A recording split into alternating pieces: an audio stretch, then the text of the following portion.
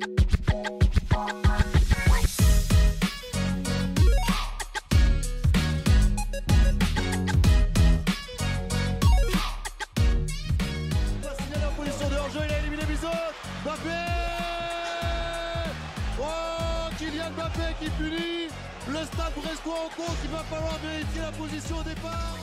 Hello and welcome to the latest episode of PSG Talking, a special international break edition, if you will. My name is Ed, and on today's show, we're going to dig up that 2 0 loss to Stade Rennais, discuss Kylian as captain, and talk about some transfers. To help me do all that, we have once again Ethan from PSG Fan Club Boise. Ethan, welcome to the show. Now, first things first, how is your March Madness bracket doing? Oh man, it was doing pretty good until last night. Uh, I had Gonzaga winning the whole thing, and they got crushed by UConn. But I know my brother had UConn, I think, winning it. So that was a that was a, a real test between our brackets, and uh, he got me there. But other than that, uh, my parents are SDSU alums, so the Aztecs are playing right now, and they could make the uh, Final Four. So I would love to see them win it as kind of an underdog. Yeah. What about yours? Yeah, FAU and SDSU. Who would have thought that in a Final Four? Um, yeah, I had Purdue winning it all, so I've been out for a long time. So that pretty much sums up my bracket. Uh, Purdue, the PSG of March Madness. All right, um, Ethan, let's get into this. So um, let's go back. It's about a week ago. PSG's 2 0 defeat to Rennes. Um, if you look at the stats, it, it doesn't actually look that bad for PSG. 17 total shots, 8 on target, 60% possession, 90% pass accuracy. So, how in the world did PSG get beat so convincingly when they actually played kind of well at times? They created plenty of chances. I mean, what did you see in this one? Yeah, so like you were saying, if you look at the stats, not a bad game. I think we had a higher uh, XG than them, but uh, you know, XG is only important if, uh, or it only matters if you can actually finish those chances. So, and we just didn't finish our chances. Kylian didn't have a good day. Uh, anyone taking a shot just didn't have a good day, and and then Rennes really really pounced on the opportunities that, that they got with that kind of uh, makeshift back line of ours. So, yeah, honestly, I mean, it people were people were kind of you know really criticizing it, and this feels like a real low point of the season. But we're just going to get games like that. Rennes historically always play us really well. Uh, the one thing I was predicting a two-two draw at the beginning, and uh, we had the chance to get our two goals, and you know they got theirs, but we uh, we just didn't capitalize, and we didn't get ours. So I just thought because of Rennes' away form hasn't been very good this year, and I uh, I thought we'd you know at least avoid a loss there. You know maybe get a point out of it, but yeah, just not our day. And then uh, I think the biggest thing was just the injuries to our defense. You know I love how our midfield and our attack is basically 100% healthy, and then the defense. You know five of our six or seven best defenders are out. So it's uh, it's not the worst. I think the international break came at a pretty good time for us. Definitely, and I think you got to credit uh, our old friend Mandanda there for Rennes in goal. I mean, you mentioned they were just didn't take our chances. I think PSG did take their chances pretty well. It was just that Mandanda was there, just standing on his head to borrow a hockey term, and I mean, we just could not beat him. He he just was blocking everything, and um, they were set up well. They they knew how to, to play us. And you mentioned Rennes seemed to always have our number in these matches coming. But I I thought like coming off of that, you know, just difficult defeat to Bayern Munich, you would think coming back home, the the team would want to put in a performance. And again, at times it did seem like they were a little bit inspired, but a 2 0 defeat at home didn't really give much uh, hope to supporters. And there was some whistling and some booing. And, you know, it's, it's not what Kim Kardashian came to see now, was it? No, uh, I think we we may have got hit with the Kardashian curse there. With uh, she was at Arsenal's match to see them lose, uh, get knocked out of the Europa League on that, that Thursday, and then a couple days later at the park to see us lose. So maybe uh, you know, I'm not I'm not going to fault her completely for the loss, but maybe she just shouldn't show up to any, any more home games. If if she wants, she can go to uh, Le Classique at the Velodrome next year and wear a Marseille jersey if she wants. I wouldn't mind that. Yeah, Kim Kardashian might like the uh, south of France. I could see her down Yeah, there. yeah, it's a nice area. Yeah. You know, and, and, just looking at the starting lineup for PSG, you did have Verratti in the midfield. You had Messi and Mbappe up front. You had Nuno Mendes was out there. Uh, Danilo had been playing well. Vitinha is probably the second best midfielder we have. So we we talk about injuries and all that, but this was still a team that should be able to beat a side like Rennes, who are not lighting the world on fire. Um, I want to talk about Rennes though for a second because Ethan Carl Toko Ekambi, he's a Parisian who came up through Paris FC, if I'm not mistaken, and then Arnaud Cal- Kalimuendo, who uh, did come up uh, through PSG, the former PSG player. They were the two goal scorers for Rennes, and so it's more of the same, isn't it? Players that should be at PSG or used to be at PSG coming back to haunt them there was a great shot, and I'm sure you, you saw it during the match of uh, Nasser and Campos sitting next to each other and looking very agitated. Do you think it's finally setting in now that the you know 50th former PSG player has scored against us that maybe they should hang on to these guys? Do you think it's settling in? Oh no, I I mean I think it is for Campos. I, I think Campos is smart, and I I usually will trust his decision making. He's he's proven himself at Monaco and at Lille. But Nasser, I don't, I, don't, I it would not surprise me if Nasser still doesn't get it. I mean, some people, a lot of people disagree with me here, but I still think it was a good idea to uh, sell Kalimuendo. He has not been lighting Ligue on fire.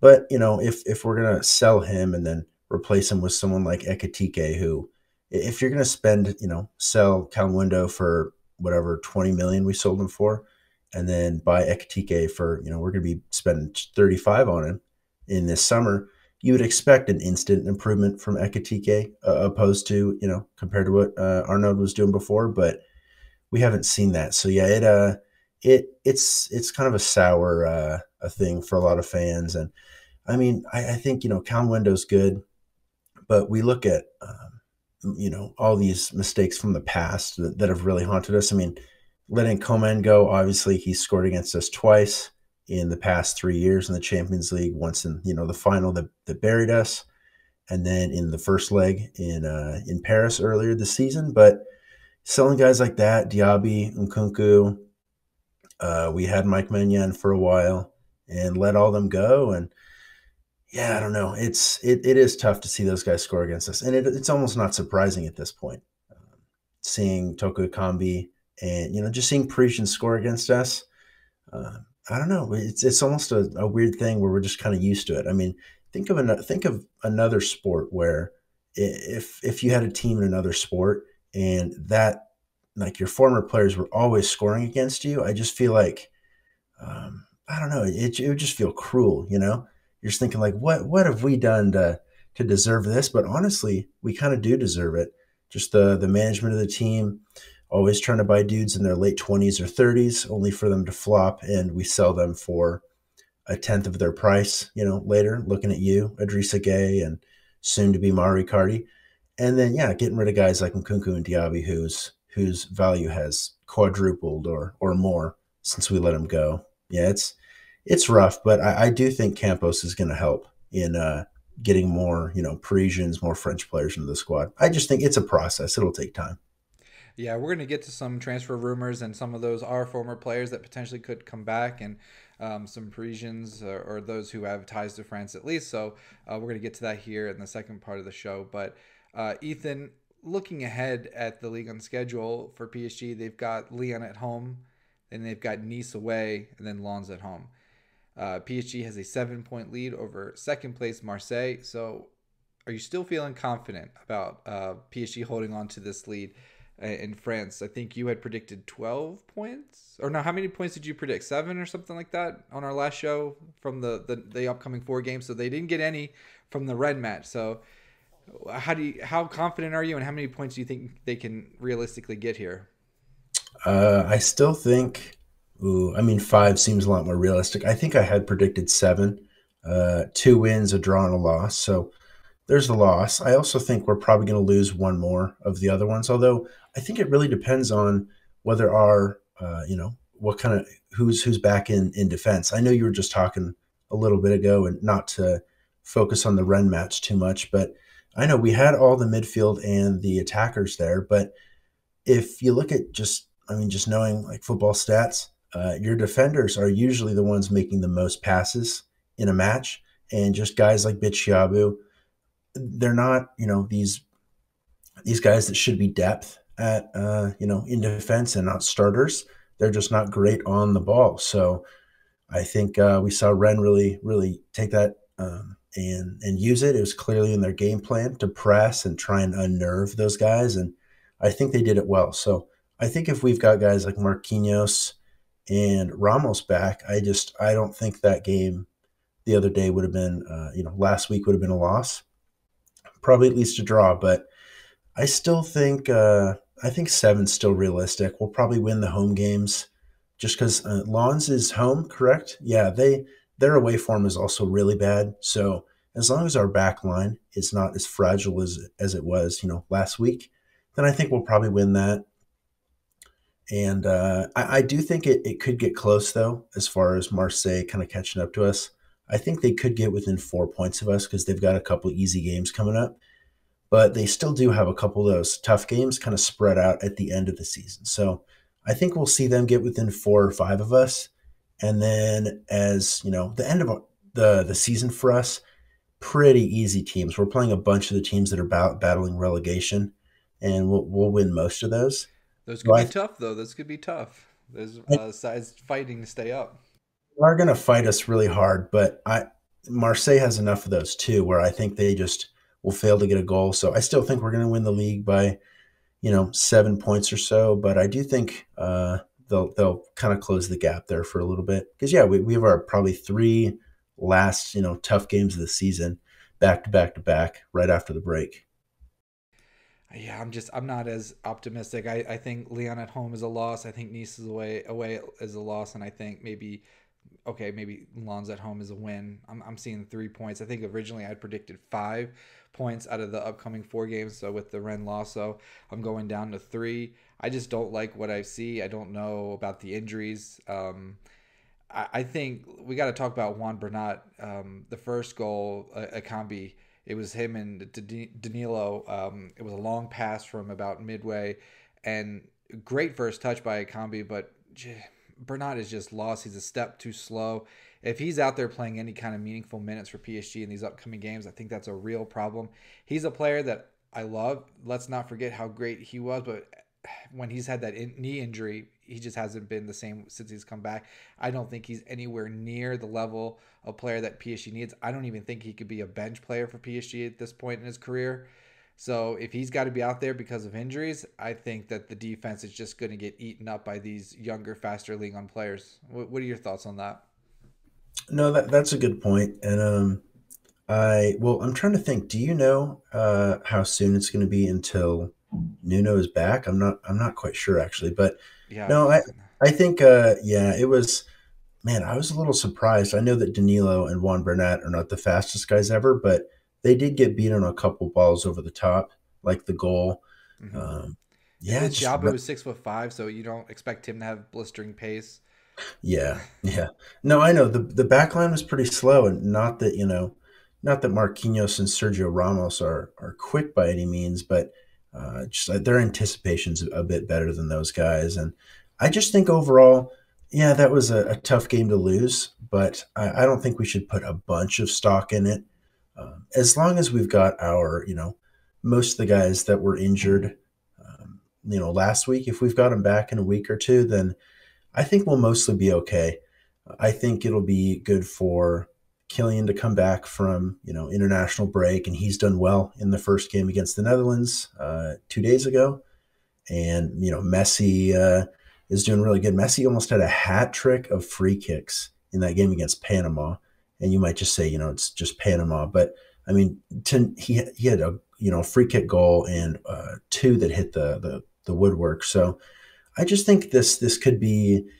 Uh, a good break. You know, I know the World Cup break probably kind of hosed us. You know, everyone's form dipped, and a lot of guys, their motivation that they previously had probably, you know, fell a bit coming back to Paris after that. But um, I think if Galtier is a is a decent coach at all, and I still back him, but if he's a good coach at all, I think he'll find a way to use this break in a meaningful way, in a way that'll help us. So I, I'm hoping we're coming back from it somewhat good. But the thing is also about the the title race with Marseille is, um, you know, I was talking to my buddy uh, that I stayed with when I was in Paris, you know, for the Champions League match and the Lille match in in February, and I was, you know, we were talking about this the title race, and he said, um, I would typically agree that you know Marseille might might have a chance, but it seems like this year, every time that they get a really winnable match, a match that they should be winning, it's just like they just find a way to drop points.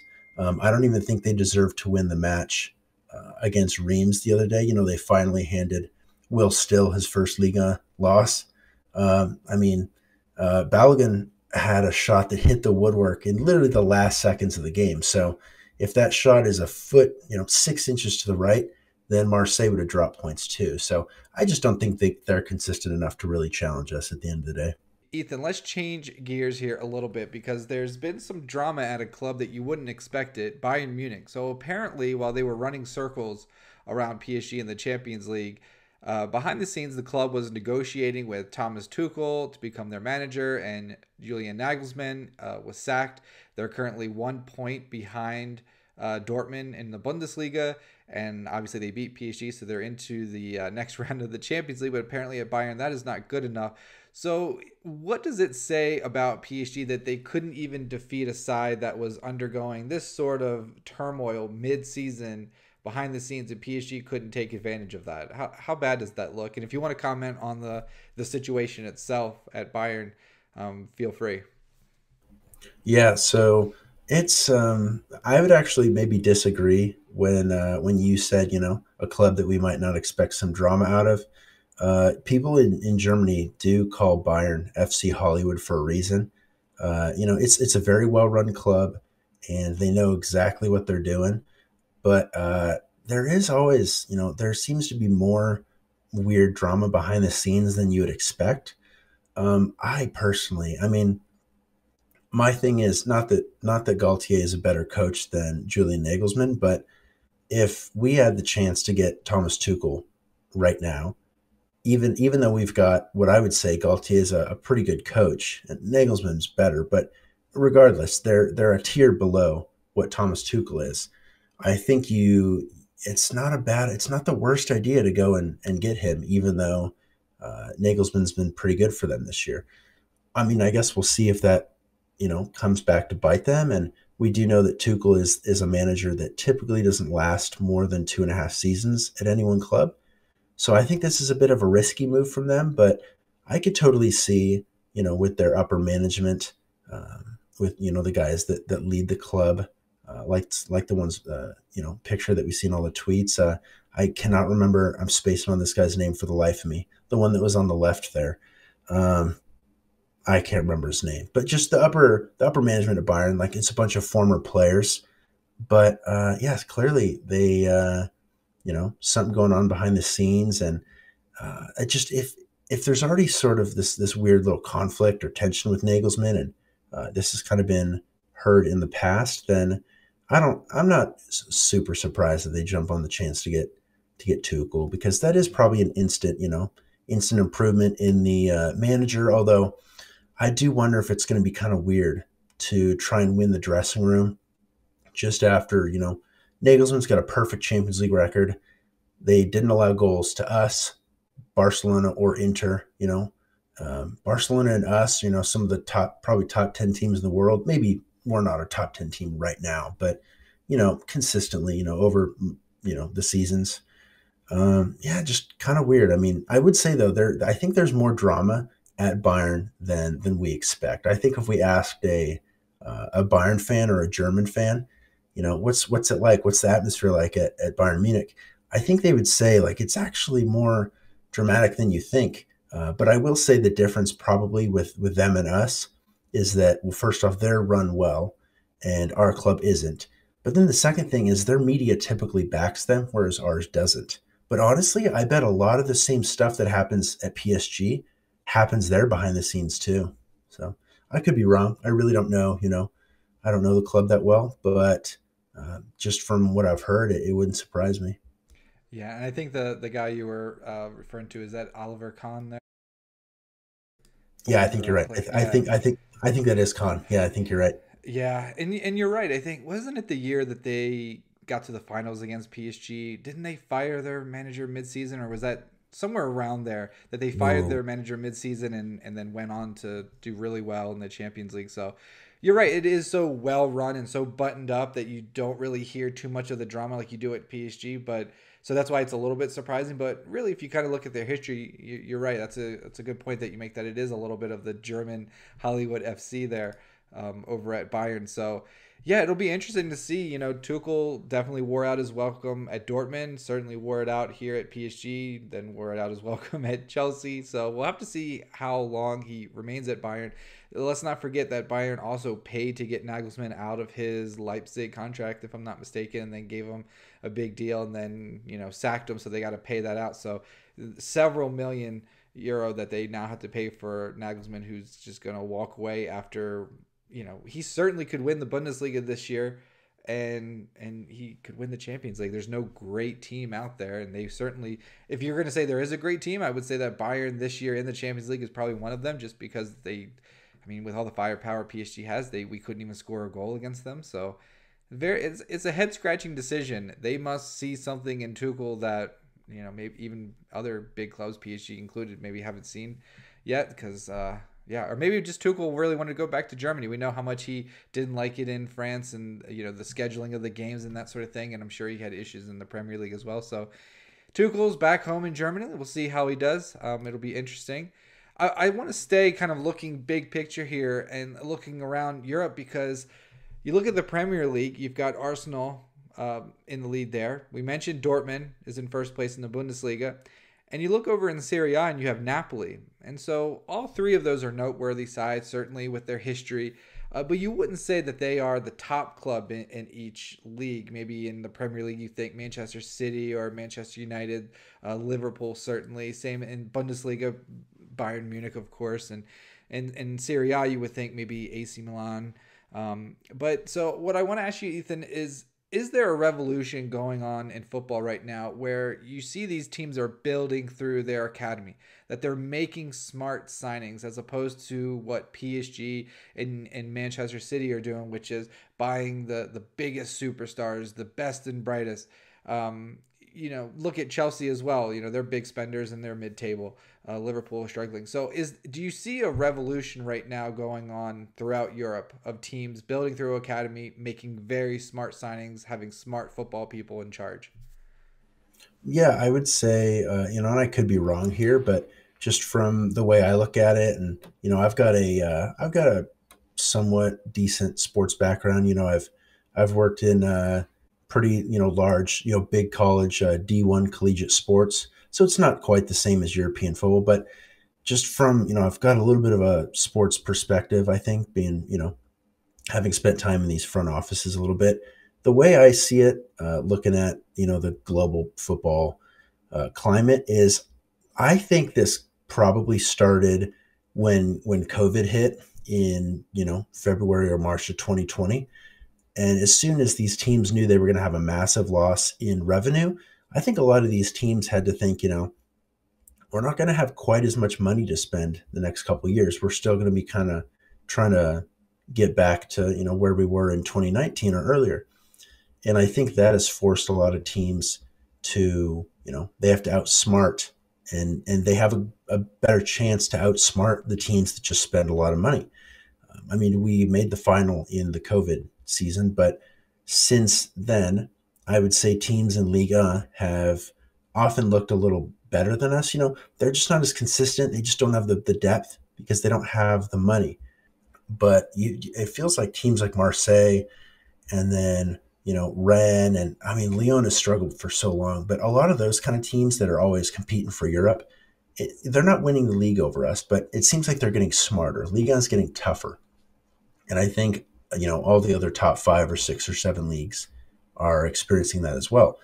I, so I think the ones that have kind of emerged, like Arsenal, Napoli, uh, Dortmund, have been better because I know right around the COVID time they were struggling. I think they got third one year. I think Leipzig maybe finished higher than them. Uh, I could be wrong, but you know, just these teams are, are getting better because, yeah, I do think a lot of it is focusing on the youth, especially uh, the Bundesliga is pretty youth centered. So uh, these guys Like, I mean, we know Jude Bellingham's been at Dortmund for a while, but guys like that, they've been giving them more chances and it's paid off. But they've also just, I think the main thing is they've been spending their money a lot smarter. Um, you see clubs like, you know, Manchester United, they're finally just getting back into it.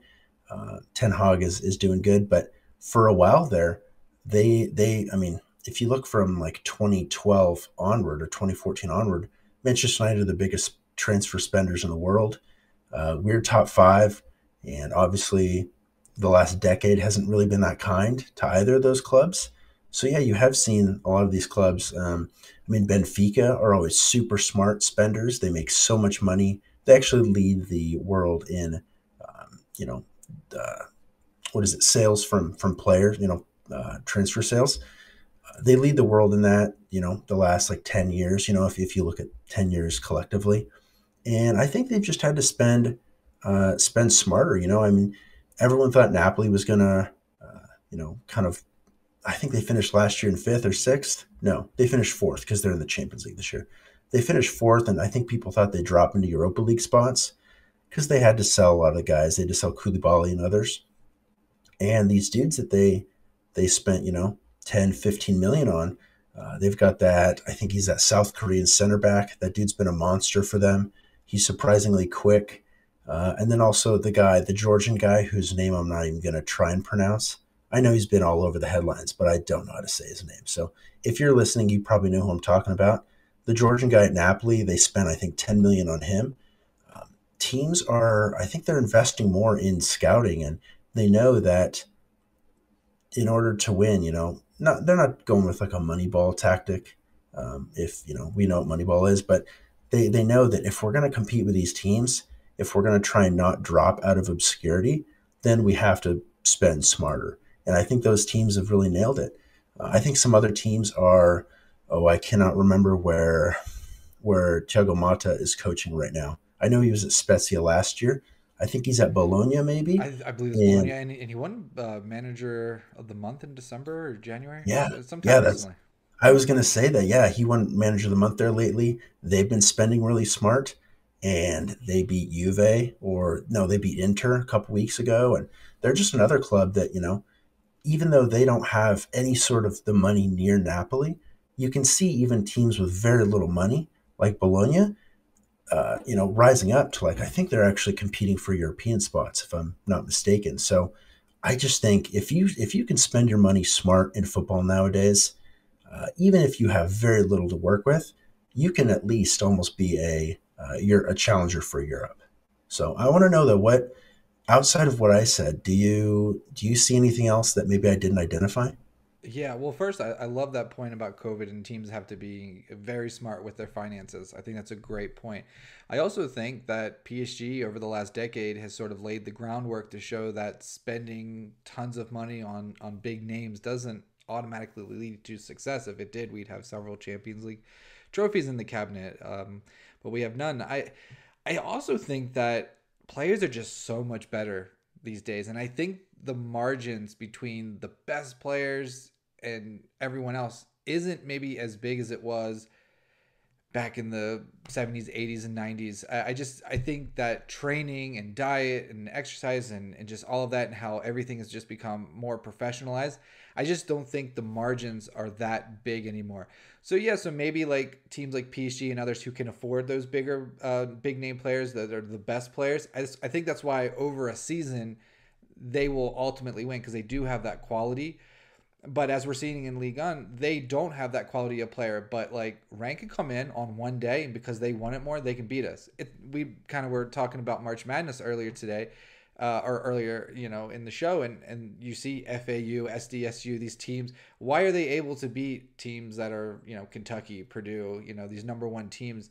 It's because on one day they have athletes too, and I just don't think the margins are as big anymore. And so when we get into the, the you know Coupe de France and, and the Champions League where it's one or two games, I think that's why these these teams that maybe don't have the names and the quality, I think that's why they're able to beat us. And so I think that what we're seeing across Europe is players are getting a lot better, the margins are getting a lot finer, and it comes down to good coaching and a little bit of luck. Um, and unfortunately, PSG hasn't always had that. And so I think that's maybe a little bit of what we're seeing is that over a season, the bigger teams are probably going to win out, but in the Champions League, it's it's really anything can happen. Who wants it more? What manager is going to get the right tactics? It's not always going to be who has the biggest name, who has the best players.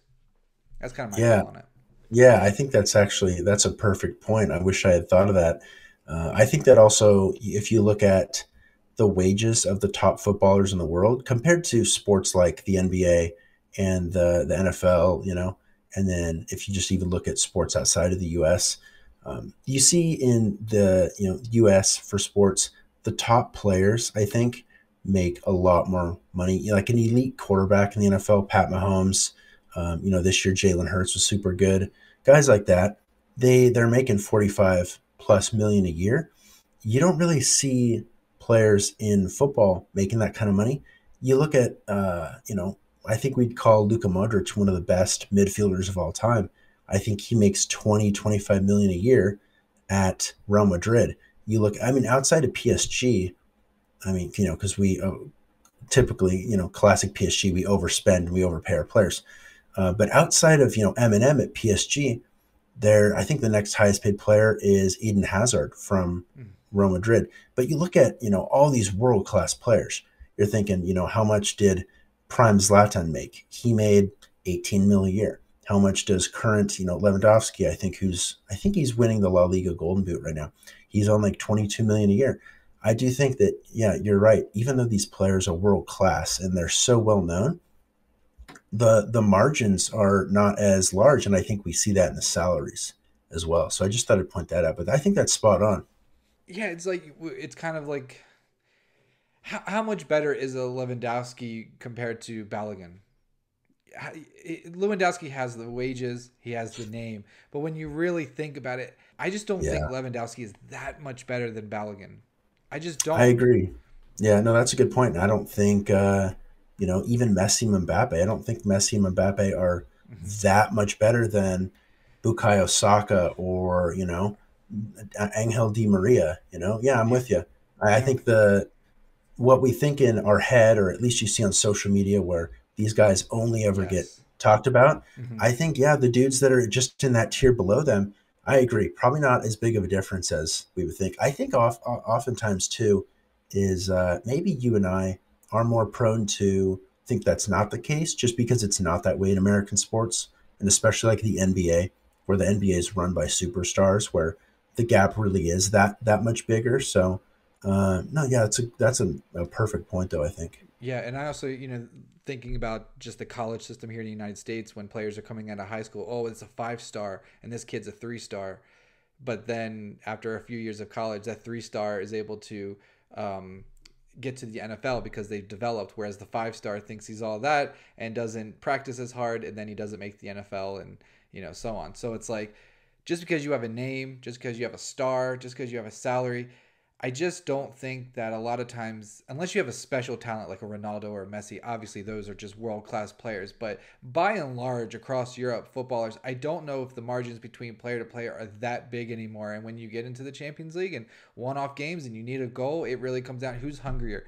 Who's who's going to be more determined? Who wants that goal? Who wants to win? And what manager can put it all together? Who's got a lot of it's like the team chemistry too the pieces that come together. You may have a bunch of three star players, but if the chemistry is really good, they'll beat a bunch of five stars who are bickering and arguing with each other. So there's a lot of things yeah. that go into it. Yeah, no, I agree, and I think we actually talked about this before we started recording.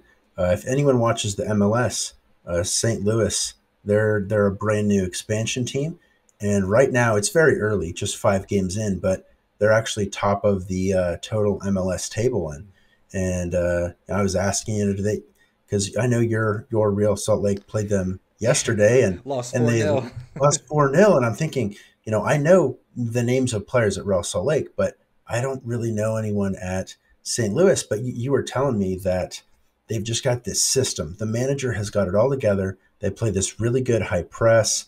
They make teams pay, and you know, MLS backlines, which aren't as athletic, they know how to exploit that. So yeah, I totally agree because I don't think St. Louis has any star players, but it's just if if the managers got it all together, and I think that's often. I mean, Bayern have had really good teams, and I think last year, Real Madrid, I mean, they've got world class players, but I do think it was more of the collective cohesion and unity of the team that won them that title. I mean, yes, Luka Modric had star moments, Karim Benzema had star moments, but for the most part, you know, 90% of the success, uh, you got you got to say was just the collective overall teamwork.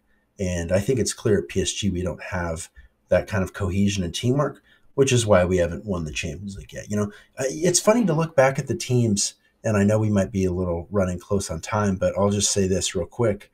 It's funny to think that the team that made the Champions League final for PSG was it wasn't you know the the star-studded teams of the '90s with George Weah and Raí and and you know other guys like that, uh, and it wasn't this current M&M it was the team that had Thilo Kehrer playing right back in the final.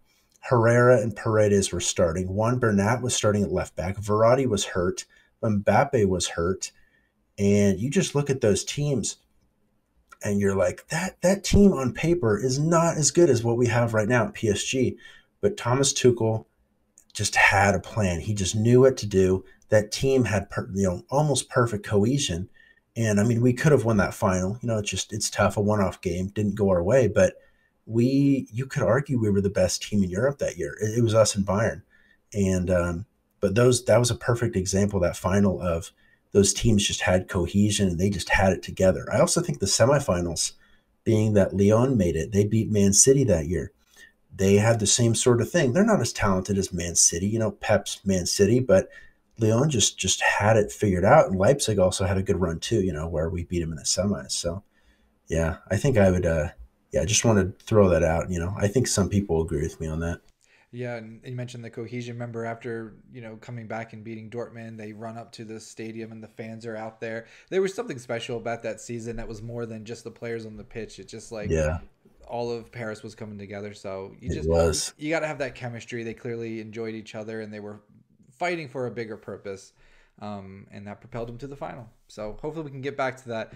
Let's get to um, here. We got a few more topics we want to cover before we get out of here. So the big news out of the international break was Kylian Mbappe being named captain of France. So simple question to you, Ethan: Should PSG make Mbappe captain, and what would that mean for Marquinhos? Obviously, he would be captain, but do you think that that means he has to be sold because it's kind of a demotion? So how how do you think he would take that?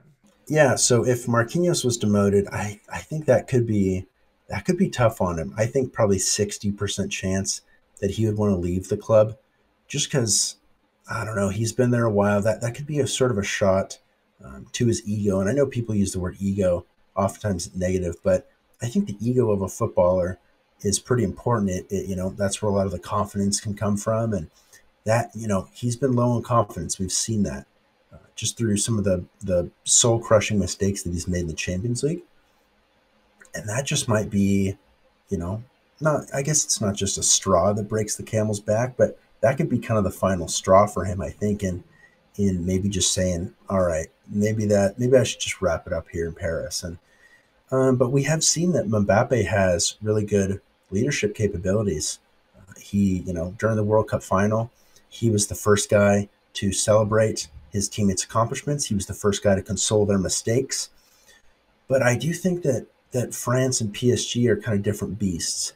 Um, I I don't think we see you know in the past we've we've seen Mbappe sulk a little bit on the pitch at PSG and you know be frustrated at times. I haven't seen him act sort of the same way with France. So I'm not quite sure I, I, think he could be a good captain. It's hard for me to say. I think he could be a really good captain at, at PSG, but being that we we're almost all certain he's not going to be a one club man. I know he was already at Monaco, but from here on forward, he's not going to be a one club man. Maybe it's not the greatest decision, but if he is really willing to, you know, tell QSI, hey, because he and Campos have a great relationship. Campos is basically the one who discovered him and brought him to Monaco way back in the day even when he was getting offers to go to Liverpool, Chelsea, uh, you know, uh, Real Madrid, other like big clubs like that. And he went to Monaco instead because he saw it as his family saw it as the, the quickest path into the the first team of a, a big a, a big uh, club in Europe. And I think if QSI is willing to commit to Campos, basically, if Kylian and Campos can be like, hey, we're a joint package. If Campos leaves, then I'm not going to want to stay here. I know that's a bit, you know, that might seem like a negative thing, uh, you know, as a club that we should be kind of open minded and willing to make changes. But I do think that that that do that partnership of Mbappe and Campos, uh, although it's really odd because it's not a player, uh, you know, duo.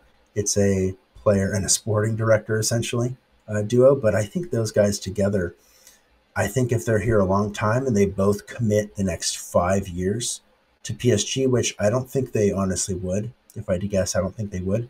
But if they did, then I think that could be really beneficial. And I, I would make uh, Kylian captain uh, in that case. But other than that, I, I do think since we can't rely on Kylian being here for, you know, the next uh, five years, I think something's got to happen where, yeah, we need to reevaluate if, you know, if Marquinhos is going to remain captain, what do we need to do to make sure he's going to be a reliable leader? And if it's not going to be him, then who's it going to be? And um, yeah, like I said, I, I, ideally it would be great if it was Kylian. I'm just not sure if he's reliable enough. You don't want your captain leaving after you know a couple years. We don't want something like Inter Milan right now, where you know Skriniar was their captain and they had to remove him as captain once he committed to going elsewhere. So it come to us this summer, and now it's just this whole weird dynamic and um, probably just not good for team chemistry, which is why I, I have Benfica beating them in the quarterfinals uh, this next round. But I don't know. What do you? Is there a player that you have in mind where you're thinking, yes, this current player at PSG might be a really good fit, or you know, what what is your solution? Yeah. So, well, first you mentioned Skriniar, and we're not going to get into that topic, but apparently he's got a busted back and probably won't play for the rest of the season at Inter. So I like your pick of them being upset. But um, moving on from him, I, I think making Kylian captain of France makes sense. Look at his performance the last two World Cups. I think it's a no brainer. It, it's not often that you see an attacking player with, with the armband. So, um, bold choice from that perspective, I suppose. But I think it, makes the most sense. He's clearly the best player. Everyone looks up to him. Um, it's his it's his team, and I think at PSG it's the same deal. Um, he's the best player. Um, he's from Paris. I think you have to make him the captain at PSG. Now, what does that mean for Marquinhos? He's obviously been lacking confidence. I'm on the record saying I would listen to offers for everyone except for Nuno Mendes, Hakimi, and Mbappe, and that and that includes Marquinhos. I would listen to offers for him. I believe his contract, I'm looking up, expires in 2024. I think now would be the perfect time to essentially give him that demotion, take the captain's armband, give it to Mbappe, and that basically says uh, you know anyone in the Premier League, Liverpool, Chelsea, whoever. If you're interested, make us a, a really good offer. Let's not forget that PSG needs a complete rebuild, and they don't really have that many players that they can sell for um, a high transfer fee. Marquinhos would be one of them if they were able to move off of him this summer. So I think that demotion would essentially signal to the rest of Europe, hey, we're listening to offers. So I think that would be good. And then as far as Mbappe being the captain, you're right. He he's not under contract for that many years, but I almost see him kind of like with the like LeBron James here in the NBA, where he only signs one or two year deals. He likes to keep his options open, but I think ultimately Mbappe wants to do something special at PSG. We've heard him say, "I want to be part of a project." If he sees Campos bringing in, and we'll talk about you know some of the players that are being rumored. I think those are the right players, and Mbappe may want to sign up for that he may be at PSG for the rest of his career. It made all the sense in the world for him to leave for Real Madrid, and he decided not to. He has political influence. He has more money than he could ever want. He has um, influential power at PSG where he can hopefully build a team and influence the team decisions around him. I don't know if he would get that anywhere else. And as we've always said, winning a Champions League at PSG would be much higher on his resume than winning it, say at Liverpool or Real Madrid or anywhere else where he could go where it's already been done before. Winning it at PSG would be the most meaningful. So I say give him the armband, give him everything you can give him to keep him at the club. Hopefully, you keep signing two, three year deals, and, and let's do something special. And let's listen to offers from Marquinhos. That that'd be my, my plan. Yeah, that's that's not a bad uh, that's not a bad solution. Um, I guess you're right. You know, I think a lot of the part of him not going to Real Madrid was uh, I think he might be more concerned about his image and his image rights uh, more than Great anyone point. else. I mean, yeah. I know. I think if if any of you guys haven't seen it, I think it was the Athletic uh, or one of their subsidiaries. They made a, a good video uh, like a week or two ago on you know I think it was called the controversial business of Kylian Mbappe. And I think it's actually a good watch if any of you uh, haven't seen it or haven't heard of them. I think the image rights is, you know, a, a little more important than we've all, you know, maybe given it credit. Uh, I think if if he went to Real Madrid, he was probably gonna gonna have to give up fifty percent of image rights, and we've already seen him for France. He's refused to be in, uh, you know, ads for KFC or Budweiser or stuff like that. You know, anything that he's not not uh, really you know strongly for. Uh, he hasn't wanted to be a part of it. I think also in that video it pointed out that his his brand, the Kylian Mbappe brand that his parents and him created, they've actually got a a company. Um, I learned a lot of this from the video, although some of it was already you know fairly common knowledge before then. But uh, the company that they used to create his brand, that basically runs his social media, um, they only have a couple partners that they that they you know team up with. So he's really selective on where he's going to go and what he's going to do and who he's going to work with. Uh, maybe more than any other player we've ever seen. And I do think that QSI being 100% willing to give him those image rights, be like, hey, you can do whatever you want. We'll do whatever it takes to keep you here. Whereas Real Madrid, maybe, you know, this is overall, this is for the betterment of Real Madrid. Over, overall, in the long term, this is a smart move from them to not completely sell out on any one player. But in this case, it worked against them to where they probably didn't get Mbappe largely because of that. Um, obviously, you know, it worked in the Galacticos era. Took some time, but uh, the, I'm talking about the first Galacticos era in the early 2000s. Um, that worked well for them. You know, they took the image rights, and these players were willing to go there. But football is just a bit different now. Social media has blown up since then, and it's just not quite the same. And I think that that benefited Mbappe to stay here. But I'm, I'm with you. If you make some really good points, if he does believe that Paris is going to be the best place for his career, because I don't, he's not worried about. You see on social media, people call you know Ligue and the Bundesliga, and then any other league basically outside of La Liga and, and England, uh, just call them farmers leagues and that kind of stuff. And oh, he should challenge himself at a tough league. I don't think that stuff phases a lot of footballers. I don't think they care. I think what you see is he has 60 goals and assists in 67 Champions League games. And, you know, if you remove his first couple seasons where he was still kind of becoming a world class player, then the numbers are even better. So it's clear that he's proved himself on the highest level. I don't think going to, you know, playing a team like Troyes or Stade Brestois, I don't think that, you know, it's not like that's any worse than playing Cadiz or Eibar in Spain. Yeah, there's like a couple better teams, but if he's going to leave and kind of sell his brand or reduce his, you know, brand for, you know, to go to a league where you play a couple higher profile games a year, it's just not worth it. So, yeah, you make a good point. I hope you're right. Uh, I hope he's going to be a, you know, one of the kind of players that stays in Paris for the next, you know, five, ten years. Um, I guess if, you know, yeah, if that's going to be the case, then I don't know. I wonder, do you have any further thoughts on what I said? I know yeah. I kind of just repeated what I, you I, said. I, I, found that video um, is from the uh, Athletic Interest. It was just published a couple days ago, and it says, you know, inspired by LeBron. And I'm a big NBA fan, and, and one thing I know about LeBron is he wants to own a team could could QSI offer him some ownership stake in in a club like PSG?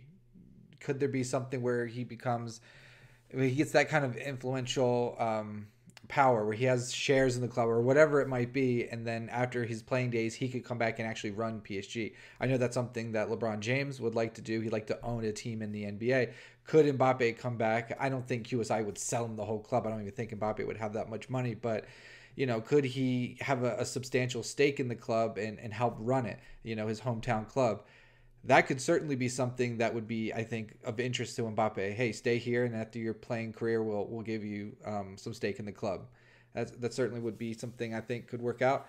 Um, but I, I, think you're right. The brand, it's all about the Mbappe brand, and he doesn't want to go to a club that won't let him do what he wants with his brand. And and fair play to him. Um, and a lot of people will criticize PSG and be like, "Oh, he's bigger than your club." I, I I just think it's stupid. It's whatever. You know, if PSG are willing to do that and Real Madrid aren't, then we'll keep them. And that's just the way it is.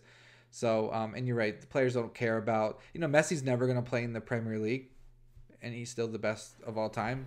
And Ronaldo has, and no one thinks that he's so much more substantially better. And you're right. Just a couple extra, more difficult games. I also think that Mbappe thinks that within his playing career is probably going to be a Super League situation or something like that so I think maybe he'll stay at PSG and get to play those more difficult games anyway, because I think the football landscape will probably change sooner rather than later. So I think there's a lot of things on the horizon, a lot of unknown. Um, and for now, he's just going to stay where he is, where he's happy, where he gets paid well in his home. And I don't think he has any interest in leaving right now. He says he's very calm, very comfortable where he is, despite you know another Champions League loss. So um, Ethan, let's keep it moving here because um, we're coming up. We're about an hour here, but I, I want to get your kind of thumbs up, thumbs down on some transfers and whether or not you think they're going to happen. Are you ready? I can fire them over your way. Mm-hmm. Yeah. All right, let's do it. So, um, Xavi Simons back for 12 million euro. Apparently, there's a buyback clause. It was reported by our friends at PSG Hub. If the deal is that simple, PSG have to do it, right? That's a thumbs up or thumbs down. And, and what percentage would you give PSG actually if that's the clause that they would activate that. Yeah, so whether I want it is a, is a thumbs up. Definitely, I think bring him back, and I'm almost even open to assuming that Messi leaves or Neymar, although Messi's more likely. I'm almost willing to just throw him into the hey, you're going to get a bunch of starts at the beginning of the season, and let's see how you deal with it. The odds I think it happens, the odds I think he returns to PSG I'm going to go 25 30%. I just I think PSV is going to give him a huge raise. I think the the level of of play in the Netherlands is not so much greater than in Ligue to where he he could have a lot more uh, I don't know. I'm just not quite sure he's going to make that big move to a, a big club. In this case, back to a big club. Um, I mean, we, we all know he started at Bar- uh, Barcelona. Yep, in their academy. Yeah, and didn't stay there, and then he didn't stay with us. So I don't think he's going to come back, but I would love if he did. I mean, for for twelve million, if that's all, if it's just hey, we have a buyback clause and PSG paid twelve million, a player of his quality that you could get back for twelve million.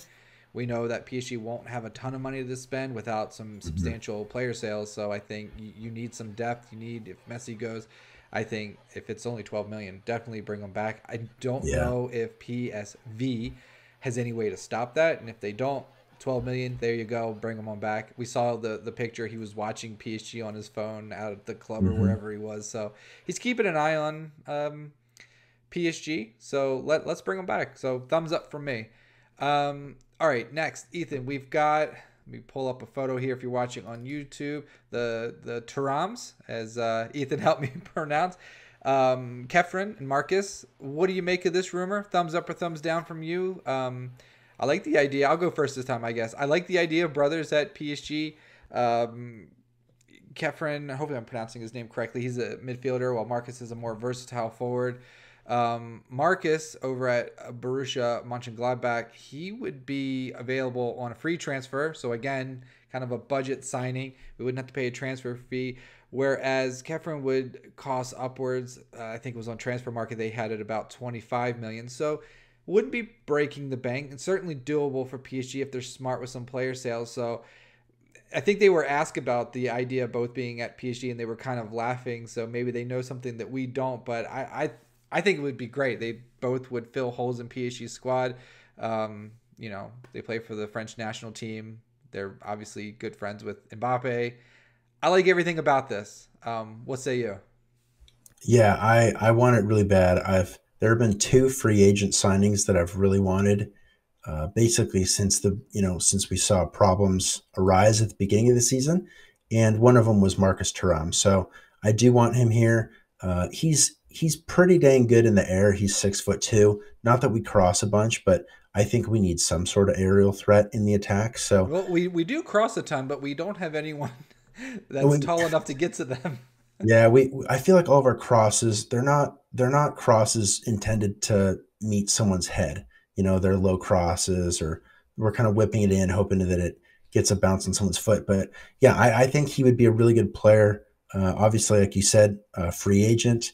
I think it'd be huge. And then for Khéphren Thuram, I, I do think we need to do that one as well. I think he is a, I think he has been sneaky good this season in in Ligue, and obviously Deschamps has has noticed it, and uh, he's in the French squad. But I think that one might cost us up to forty or forty five million. Uh, that's just kind of what I've been looking at. I did look at Transfermarkt, and uh, it did have his value at 25 but you know Nice Nice are going to up, up the value now they're going to want it he's under contract till 2025 yeah. so they're they're going to yeah. want substantially more yeah yeah they are but i i am also a uh, huge thumbs up for bringing both of them ah, i love it um, let's see. Okay, last but not least, we've got Barcelona. Reportedly, um, our writers over at PSG Talk have been churning this one out, but Barcelona have not given up on signing Messi. Um, thumbs up or thumbs down from you? Do you think? I guess I should change this photo here. Let's get it back to us here. Um, do you think that Messi will lower his wages in order to return home to go back to Barcelona? Yeah, I think he would. Uh, I think he. I rem- I think I remember that whole deal when uh, you know end of July, uh, when you know back when but right before he came to PSG, where they were trying to figure out whether he was going to be able to stay at Barcelona, and I think they were offering him like the lowest possible you know, salary that that would be, you know, not disrespectful. And La Liga even blocked that. But I honestly think that Messi would have been ready to stay at Barcelona for 10, 15 million. I really think he would have. So, um, not that, you know, I, I've never been, I know a lot of the fan base really uh, kind of despises Barcelona, but I've never despised them. I respect them. It would be cool to see Messi go back, I think. But most importantly for PSG, we, we need the room in the, the wage bill because he's something like 60 million a year.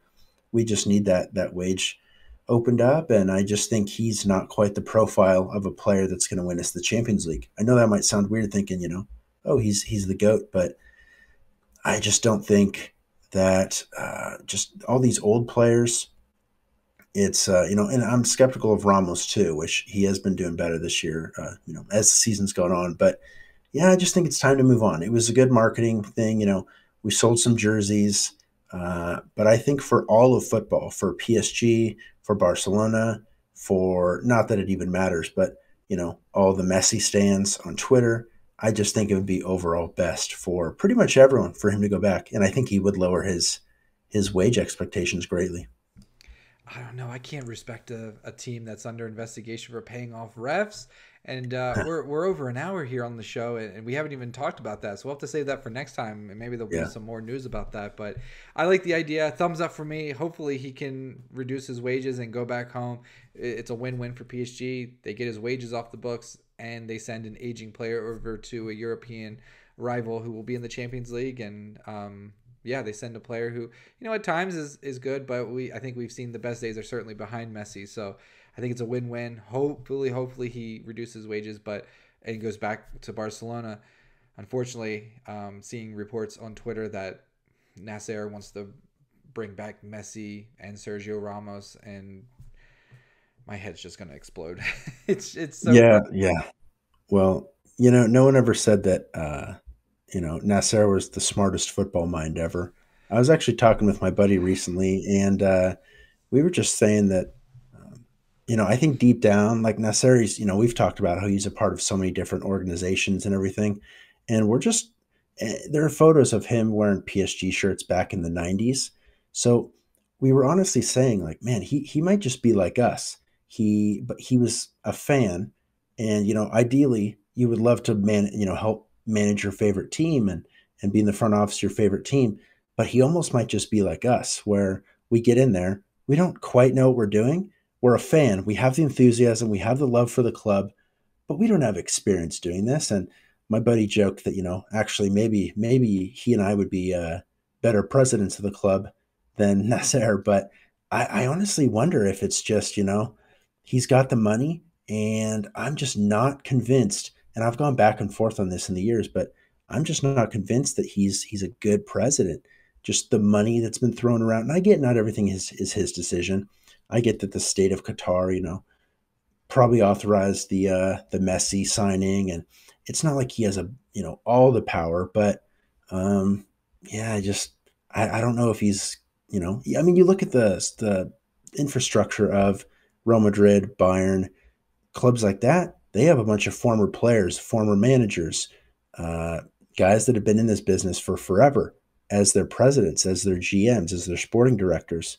And we just don't have the same infrastructure at PSG, and I think it hurts us.